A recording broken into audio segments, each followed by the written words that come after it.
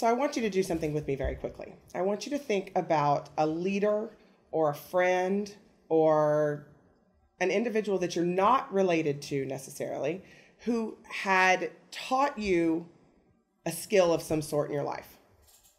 Think about the process of learning that skill. This educational process is extremely important when learning how to interact with other individuals. Okay? It doesn't have to happen in a classroom and often does not.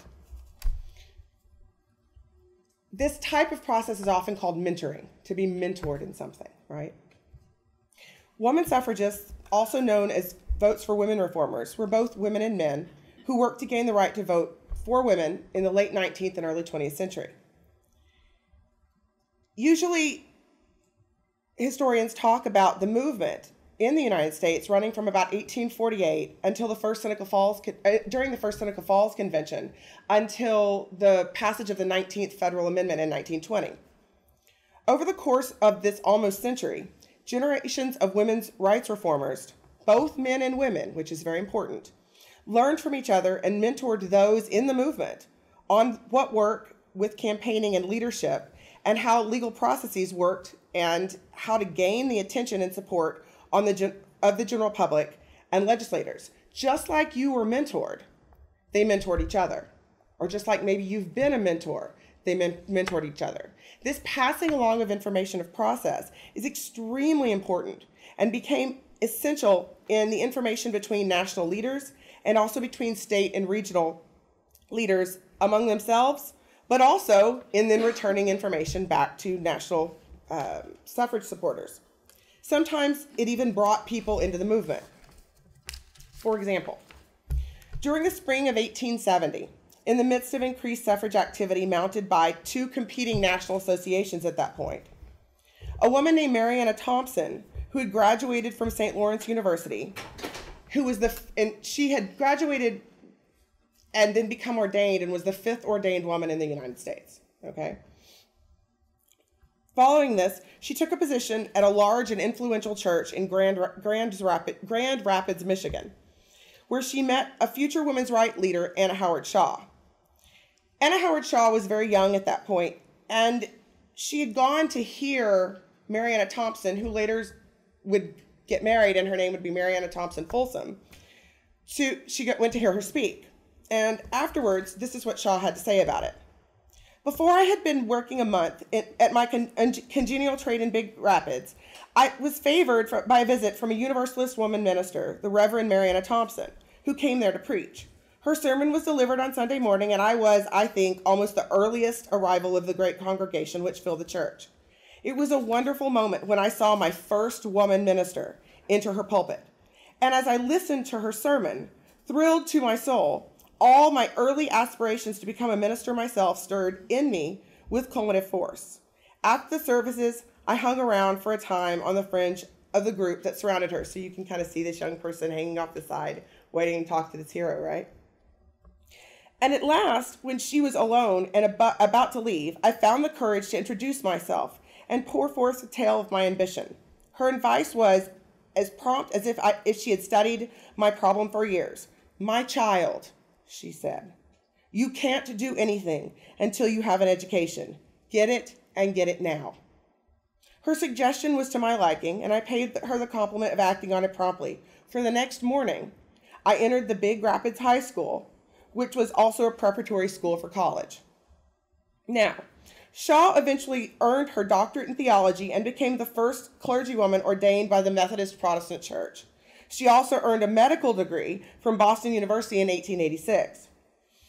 Eventually, Anna Howard Shaw served as president of the National American Woman Suffrage Association from 1904 to 1915 and one of the key national suffragists during the period in which leading up to um, the federal amendment being passed. Can you all see the mentoring here? Go and do it. This is how the process works. Shaw's anecdote also tells us a lot about how information can be obtained. This was a one moment situation. Now, these two women became friends and stayed friends for the rest of their life. Marianna Thompson, who eventually became Marianna Thompson Folsom, moved to Texas. And she became one of the early suffrage activists in the 1880s, um, traveling around and campaigning for women to get the right to vote through giving speeches and writing newspaper articles. Another example of this mentoring and communication in networks came in 1890 with a woman named Annette Finnegan.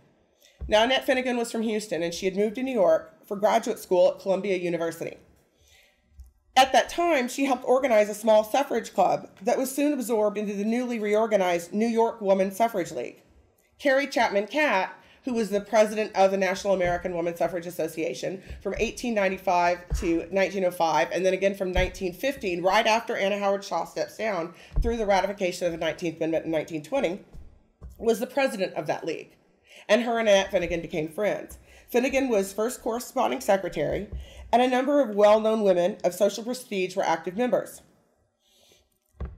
What happened at that point was that after Annette Finnegan worked with the New York suffragists and she learned how to campaign, how to keep records, how to lobby, and most importantly, how to organize, how to go out and get other people who are interested in this to come to meetings and to form clubs and for them to organize on behalf of the movement. She moves back to Texas between 1902 and 1903, most likely at the order of Carrie Chapman Catt and other national leaders. Why? Because Annette Finnegan was sent back to Texas to help reorganize a suffrage association that kind of floundered in, in the last few years. Finnegan had learned from Catt all of these campaigning endeavors, all of these ideas, all of these organizing um, processes, and brings them back to Texas. And from 1903 through 1906, especially, there's a heightened point of organizing around women's suffrage in Texas. While Finnegan and actually her sisters are also bringing in women from Houston, from Galveston, mostly from port cities along the Gulf. There's a downturn in Texas suffrage at that point as far as activity is concerned at the state level. Local associations staying very active. But between 1913 and 1915, we see a reorganization at the state level Annette Finnegan becomes president of, during one of these years. At that point, Annette Finnegan saw the, necessity to hand off the baton of leadership. And she reaches out and she's looking for new leaders and a new generation. So, do you see the generational movement? I'm starting this timeline in 1848 with just the beginning of what we call the suffrage movement in the US. I talked about 1870 is that example with um, Anna Howard Shaw. And then we're talking about 1890s, 1900s, 1910s, and we're talking about generations of leaders and generations of women that are passing the baton, but also passing this information. And Annette Finnegan chooses a woman from Galveston. She's from both Galveston and the New Waverly area, which is right outside of Huntsville, named Minnie Fisher Cunningham. Cunningham had become a staple in the local and state suffrage organizing and campaigning in various areas of the state. And in 1915, Annette Finnegan chose her to be the next president of the Texas Equal Suffrage Association. Cunningham worked with Texas suffragists at that point to further organize more suffrage associations at the local level. But one of the things she was most known for was her record keeping. And this is very interesting because she kept cards of information of all the legislators, how they were going to vote, who were their constituents, any suffragists in the area that could go and lobby them in their home office. And this information was passed from Finnegan to her on how to organize in this way. And so Cunningham at this point is doing this for the Texas Association and gets to be known very well in the national by the national suffragists. And one of the people that she comes in close contact with is Carrie Chapman Catt, none other than the woman who had mentored Annette Finnegan in the 1890s.